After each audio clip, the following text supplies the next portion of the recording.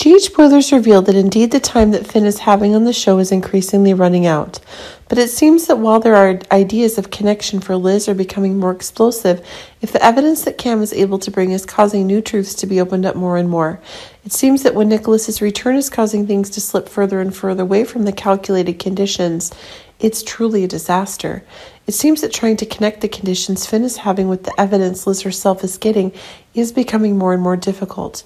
Honestly, it's the obstacles related to Hayden that are making it impossible for the two to confirm their feelings quickly.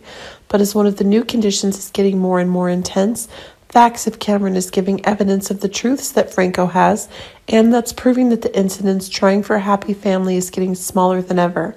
But it seems that as one of Liz's need for a man to secure her advantages is increasingly being assured, it's proving that it is Nicholas who's the chosen one.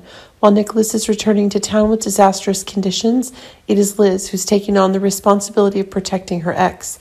But it is true that one of the new conditions is increasingly one of the new tense truths that are being unfolded more and more, and that is proving that it is Finn who's being eliminated more quickly than that.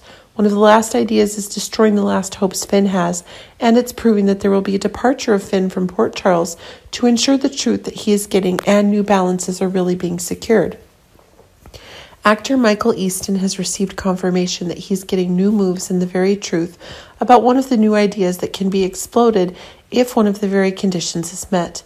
The facts regarding the rest that the actor is enjoying are getting more and more open day by day, but it seems that as one of the new ideas is getting more and more explosive, it's one of the conditions for one of the exits that Michael Easton himself is getting a new unexpected exit extend. But keep in mind that there is an increasingly explosive new outlet for the ideas that Chase is having.